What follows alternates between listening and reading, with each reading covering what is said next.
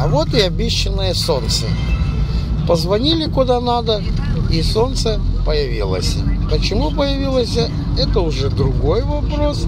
А мы продолжаем двигаться в направлении из Ужгорода в город Мукачево.